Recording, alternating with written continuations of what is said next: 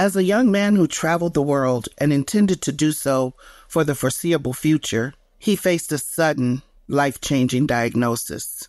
This diagnosis and the journey that followed has not defeated him, but it's increased his strength and zest for life. You know, just not taking every day for granted that this is something that can happen to virtually anybody, not just like someone who's in kind of the twilight of their life.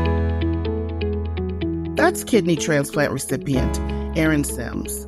I'm Monica Fox, Senior Director of Outreach and Government Relations for the National Kidney Foundation of Illinois, and your host for this edition of The Journey Continues. Aaron joins us for this episode to share how he has returned to a full life after a traumatic diagnosis. Hi, Aaron. Thanks for joining me today. Hey, Monica. How are you? Great. Thanks. How'd your journey with chronic kidney disease begin? Well, kind of pretty sporadic. I mean, I was traveling internationally for a little bit and uh, was kind of like one thing after another. Wasn't feeling well. Started to get uh, some swollen joints here and there. And finally woke up one morning with a blood clot. Doctors uh, assured me that the blood clot was from some of the extensive flying that I had been doing and uh, gave me some Eliquis. So about four months into the Eliquis, the blood clot kind of subsided, but a lot of other symptoms kind of continued. And my mother, obviously being a mother, urged me to go get a full checkup, go get a full checkup. So went to the clinic, had blood work, urine work done. Sure enough, they said we have a big problem and uh, my kidneys were not functioning. And that was, I want to say like November 2018. And how'd you feel when you got that diagnosis? I didn't quite understand the magnitude of kidneys not working. I think my initial response was, I got a couple of trips coming up. Can I get enough to last me until I get back? Wow. so you were just going to keep on moving.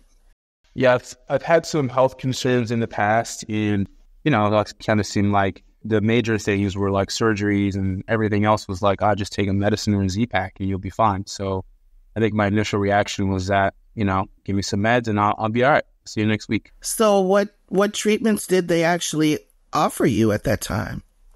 You know, probably in the first couple of months, there wasn't really much they could do. I just joined a pretty good regimen, a cocktail of prednisone and a couple other meds, really trying to reduce the regression of uh, my kidney function.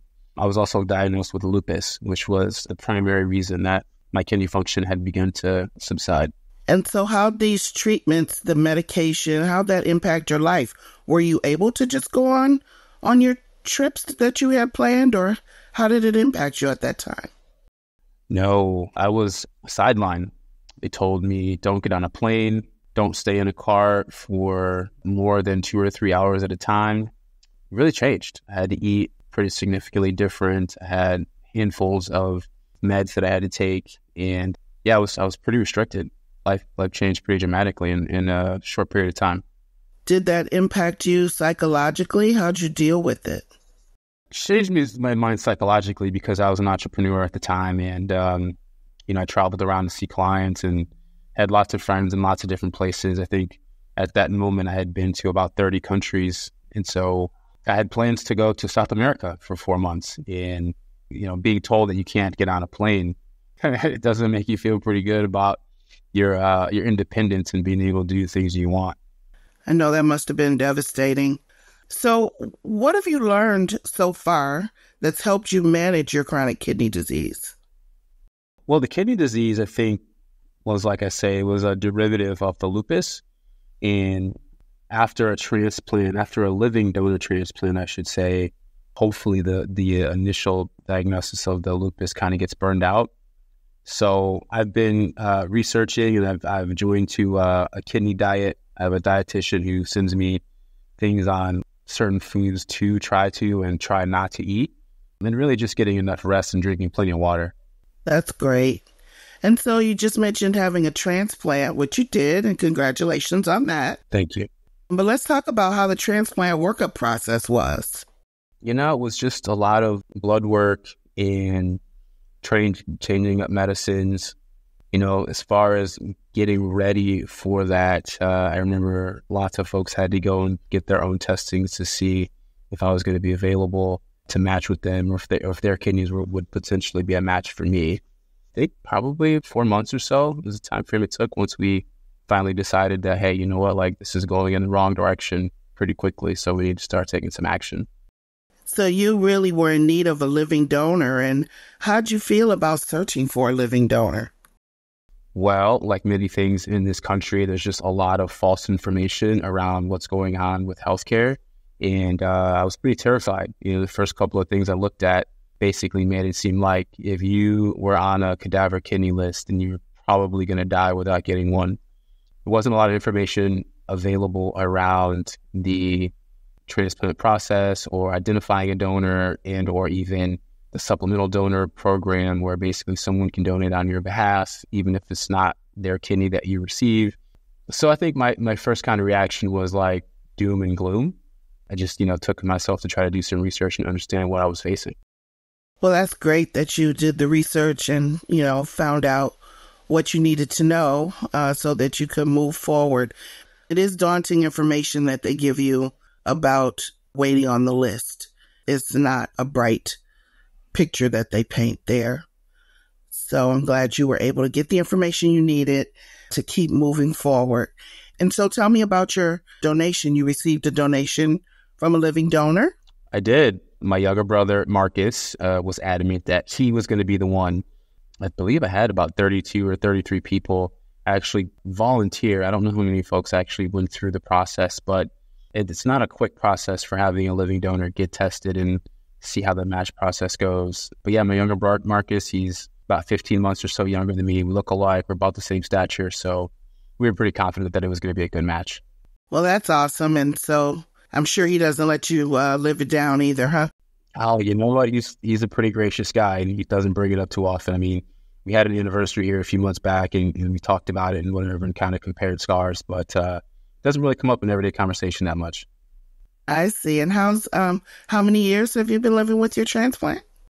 A little over three years. It was uh, February 2021. Congratulations. That's awesome. And so, how's life post transplant for you? So, kind of getting back into the groove of things, working full time and uh, maintaining a pretty social calendar. Obviously, things have shifted. You know, I've significantly cut back on the drinking, cut back on the uh, the fried foods. Haven't really been able to get as active as I'd like. You know, the main concern with after a, a kidney transplant is uh, hernia. So, really, really reduced the amount of uh, like weightlifting and, and physical activity I do. But it's been good. I feel like I can lead a semi normal life. Well, that kind of leads to my next question, which I was going to ask: Were you able to return to normal activities, and you know how much how much are you able to do? Yeah, I mean, I would say the majority of folks that I interact with from a day to day, week to week, month to month basis, if they weren't tracking me or they didn't know me six years ago and followed what I'd been through, probably wouldn't know that uh, that I had. And what about travel? Have you gone back to your traveling? I have. I have. I've been to about six countries uh, since my transplant and uh, anxious to get back on the road and get a few more. But, you know, taking it slow and just making sure I take a moderate approach to the new life that I've, I've been given and, you know, respect the confines of, you know, what things that can be rational. Yeah, yeah. Um, so how's your family impacted by your kidney disease and lupus?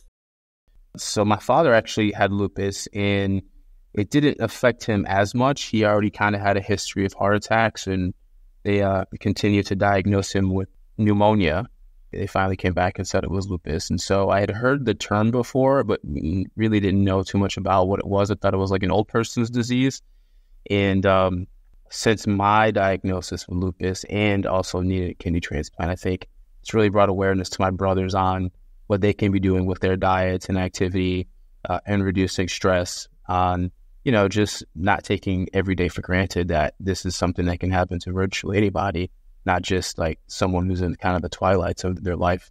Yeah, that makes sense.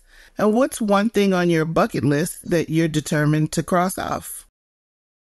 I think probably between continuing to travel and also, you know, get married and have kids would be great. I was kind of towards the later stage, in relationships and so on. And I think, you know, sitting on the sidelines for five or six years kind of took a toll. And, uh, you know, getting into my early 40s and, you know, thinking about being a father someday and, and not knowing how the impact of, you know, potentially needing a new kidney in 18 to 22 years, how that's going to impact, you know, myself and, you know, my wife or my, my spouse and, you know, our kids. So, but that's something I still think that I aspire to. Like I said, you know, come from a pretty big family, was really cherished and adored by my parents. And I think that's something I'd like an opportunity to do someday for myself.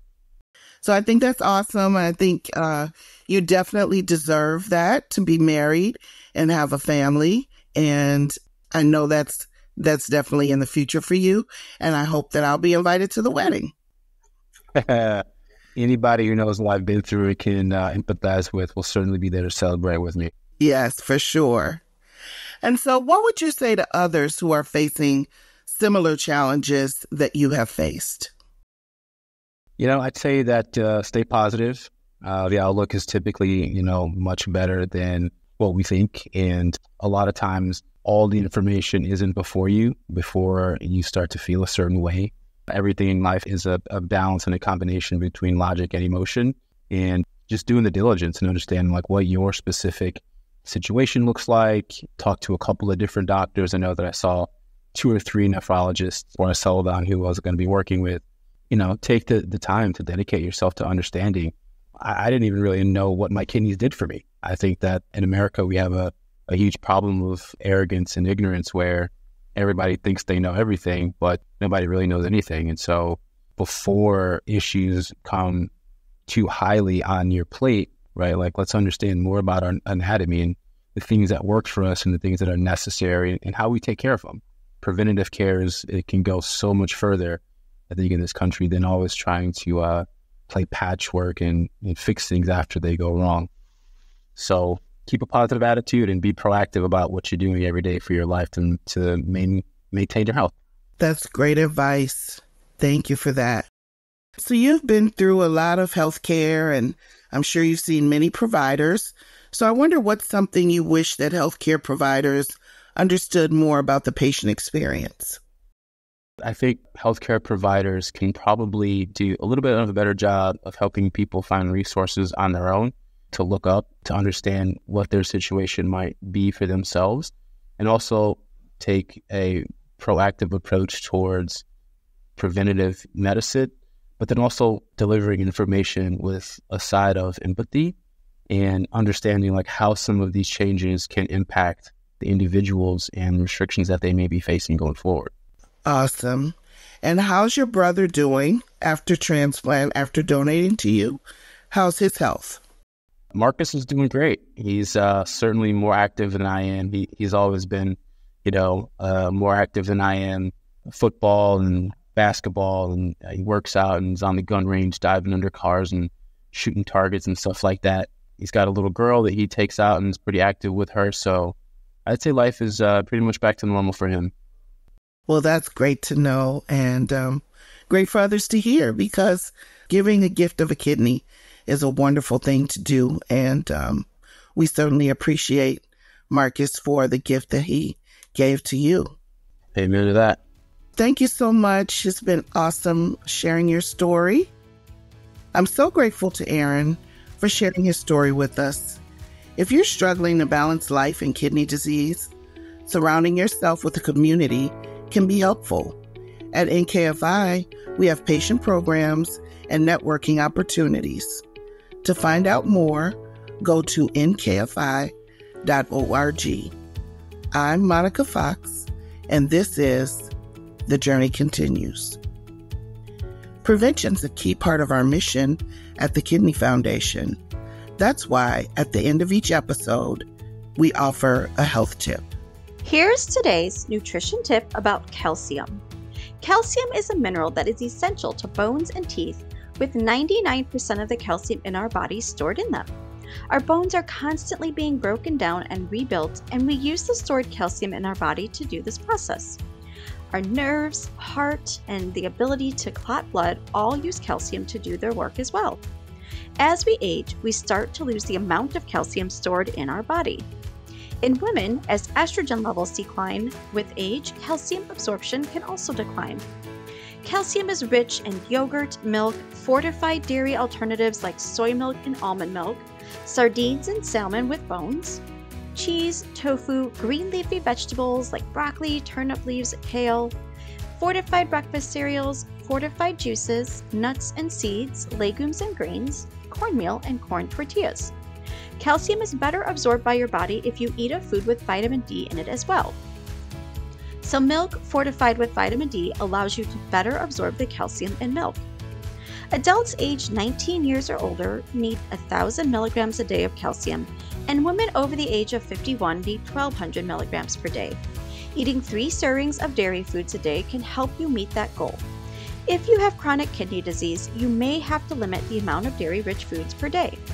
Talk with your kidney doctor to know how much calcium a day is right for you. With today's nutrition tip, I'm Melissa Press, a registered dietitian nutritionist.